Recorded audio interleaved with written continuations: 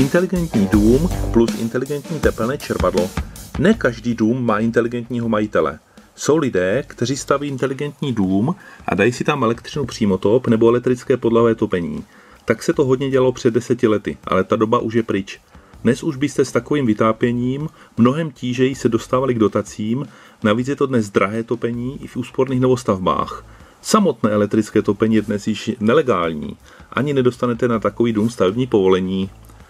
Dnes už se do inteligentních domů dodávají inteligentnější technologie, jako tepelná čerpadla, rekuperace, to je řízené větrání s rekuperací tepla, fotovoltaika, fototermika, bezkompresorové chlazení, takzvaný naturcooling, tedy chlazení zdarma. V budoucnu můžeme očekávat paliové články a podobně. Tento dům u Brna stavil investor své pomocí v první době koronavirové. Všichni byli vyplašení, seděli u televize, on chodil na stavbu a stavěl, kolem jezdili policisté, nikdo mu nic neřekl. Za dobu koronaviru udělal hrubou stavbu. Líbí se mi, že je to bungalov podsklepený. Tím pádem vám vznikají další zajímavé prostory. Problémem bungalovu je málo prostor, proto později dochází k zastavování pozemku různými kůlnami. Jak stavit bungalov? Zvážit podsklepení. To jasné. Pokud vyberete střechu z běžných krovů, nikoli vazníkovou, je to sice o 30% dražší, ale získáváte další půdní prostory. Pokud zvednete střechu o 4 šáry, lehce v budoucnu můžete vybudovat půdní ve stavbu. Stačí udělat zateplení a pár střešních okén a máte další bytovou jednotku, případně i s vlastním venkovním vchodem. Zde je perfektně využitý nevelký pozemek, na kterém je zakopáno 500 metrů potrubí DN32, polyetylen 32, tedy zemní kolektor je důkladně dimenzován, je ho tady třikrát víc, než, se, než dává konkurence. Zemní kolektor má velkou plochu výměníků, trubka tvoří 50 metrů čtverečních předávací plochy, teplosměrné plochy, to je plocha trubky. To znamená vysokou účinnost předávání tepla, tedy vysoký topný faktor, jak říká kolega, zemní kolektor není nikdy dost velký. Když ho uděláte důkladně, funguje to perfektně. Když ho ošidíte, můžete mít sebedražší tepelné čerpadlo, nebude to topit dobře. Tepelné čerpadlo. Protože je zde zemní kolektor, je zde i tepelné čerpadlo země voda, invertér 1 až 5 kW. Tepelné čerpadlo tedy mění otáčky a výkon dle požadavků domu. Tepelné čerpadlo nastaví optimálně svůj chod v oblasti nejvyšší účinnosti, Běžně v tuhých mrazech bere obvykle pouze 3,2 A, tedy třikrát méně než rychlovarná konvice. Čtyřikrát. Vysoká účinnost znamená nízké namáhání a tedy dlouhou životnost a nenáročnost na servis. Dle našich zkušeností s podobnými realizacemi by dům měl spotřebovat na celoroční vytápění i s teplou vodou pouze asi 2500 kWh elektřiny, pesimisticky 3500 kWh. Za rok, ne za měsíc tak malý příkon, asi 450 W, nešlo by to pohánět několika fotovoltaickými panely? Tepelné čerpadlo má plnou diagnostiku chladivého okruhu a je online sledováno přes internet. Tím pádem je záruka 7 let na celé tepelné čerpadlo, nejenom na kompresor. Na přání může i chladit. Po případě chladit bezkompresorově, tedy zadarmo, takzvaný naturcooling. Tepelné čerpadlo je velmi tiché a má z bezpečnostních důvodů oddělený elektrorozvaděč od chladivého okruhu. Je totiž konstrukčně určeno do kuchyňské linky. V zahraničí se velmi často instaluje do kuchyňské linky, šetří se tím místo na kotelnu. V zahraničí, zvláště pak tom západním, je 80% nájemní bydlení. V České republice je to právě naopak. 80% tvoří bydlení v osobním vlastnictví. Češi to dělají pro sebe.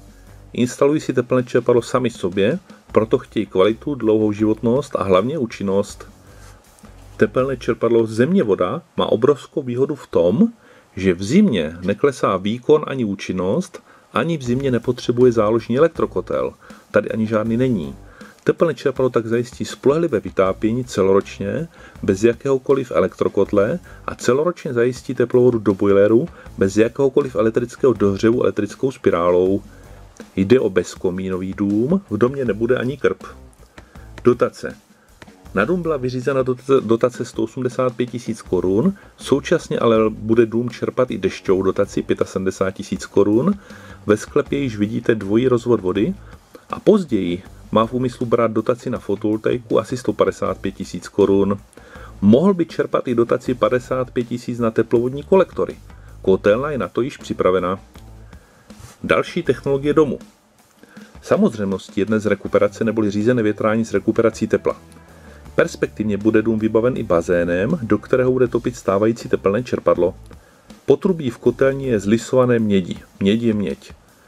Dům má tedy nalinkovanou nejen cestu rostoucího komfortu, ale i cestu neustálého snižování spotřeby energie.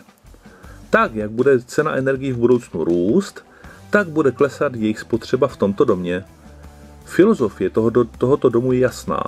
Elektrárny mohou elektřinu zdražit. Vy ji nemusíte koupit. Tepelné čerpadlo plus fotovoltaika rovná se až 80% energetická soběstačnost. Navíc lze solární přebytky uložit na zimu do zemního kolektoru.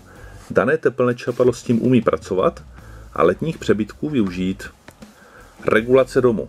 Majitel domu si vybral inteligentní regulaci Loxone, ta bude regulovat vytápění každé místnosti zvlášť, dále bude regulovat osvětlení, venkovní žaluzie a vzduchotechniku.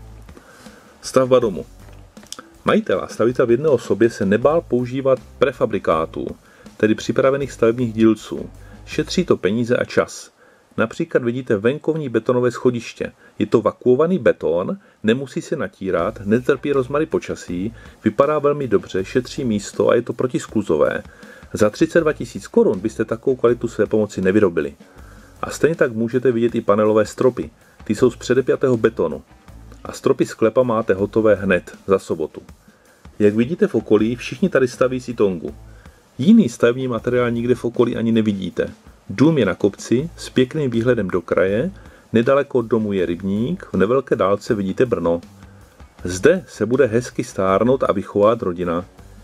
Dům je potřeba stavět inteligentně, ne draze, ne složitě. Poradenství v oblasti novostaveb a energetických úspor poskytuje www.masterenergy.cz. Můžete je kontaktovat.